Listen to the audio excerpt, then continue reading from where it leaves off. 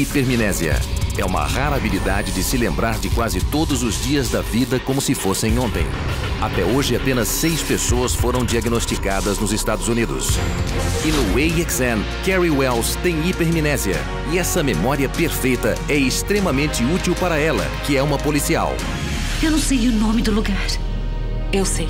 Unforgettable. Ela nunca se esquece de nada. Estreia quinta, 2 de fevereiro, às 10 da noite, no AXN.